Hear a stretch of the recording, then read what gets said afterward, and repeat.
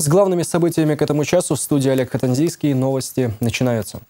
Президент Владимир Путин провел заседание Государственного совета по вопросам совершенствования системы общего образования в Российской Федерации. Глава государства кратко подвел итоги национального проекта образования, стартовавшего 10 лет назад, и модернизации региональных систем общего образования, а также расставил приоритеты в дальнейшем развитии.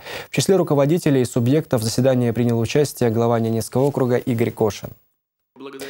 Помимо итогового доклада к заседанию Госсовета был подготовлен сборник успешных региональных практик, куда вошли проекты из 15 регионов страны, в том числе Ненецкого округа. Аркомитет по подготовке заседания Госсовета особо выделил опыт НАО по взаимодействию с недропользователями и организации непрерывной системы обучения «Школа, ВУЗ, предприятия».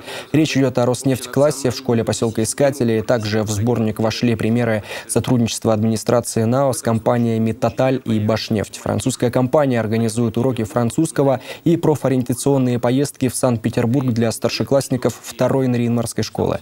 Башнефть закупает лабораторное оборудование для практического изучения естественных наук.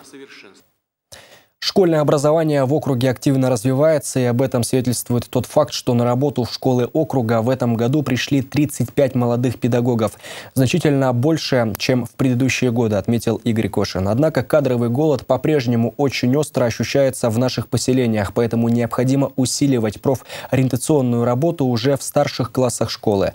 Об этом на заседании Госсовета говорил и наш президент, поэтому будем продолжать привлекать к образовательному процессу бизнес, недропользователей, ведь это взаимовыгодное движение. Плюс крайне важно создавать доступную среду для учеников с ограниченными возможностями. Это одна из главных задач, которую я ставлю перед профильным департаментом на следующий год.